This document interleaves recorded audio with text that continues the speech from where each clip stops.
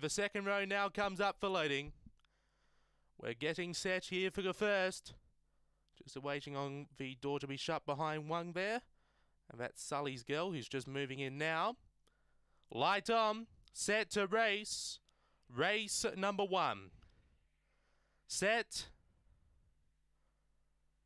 Away, Aston Regal was fairly away. There's speed from Hayride Hewitt, who drives to the lead and gets cleared by a length and a half on Molly Holly, Aston Regal. Then we go back to Gaza with Snakebite Fang and Sully's Girl up to the turn.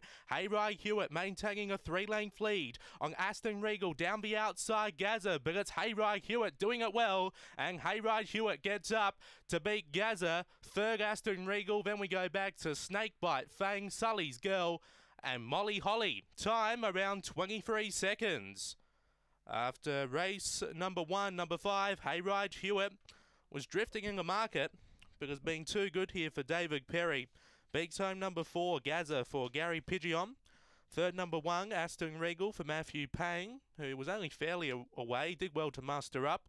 And fourth, number seven, Snakebite Fang for Nathan Hughes. 23.06 for time. Early splits in 7.23, 10.28. Rung home in 12.78.